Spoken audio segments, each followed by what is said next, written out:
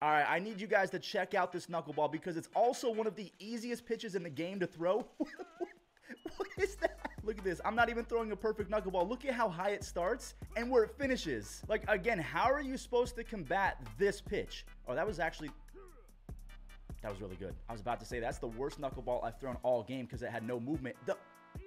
What is going on? Never in my entire MLB The Show career have I seen a knuckleball be this lethal. I mean, it's unhittable. All right, so this time I'm to start off a righty with a knuckleball, and then I'm to go back to the sinker. This, I, I'm speechless.